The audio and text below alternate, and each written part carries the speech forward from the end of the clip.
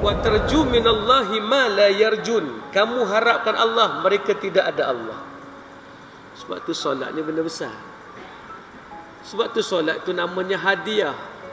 Ada satu buku yang sempat saya semak. Rehatkanlah dirimu dengan solat. Kita kalau serabut tak solat dah. Ada orang tu dia serabut dia tak solat dah. Kenapa tak solat? Serabut. Nabi ajar serabutlah solat sebab kamu boleh rehat kamu ambil masa. Take five. Relax sekejap. Kosongkan pemikiran. Jangan ada gangguan. Tak nak ada distraction. Distractor pun tak ada. Kamu hanya fokus pada Allah. Sebab tu jiwa orang Islam sepatutnya kuat. Tapi kenapa?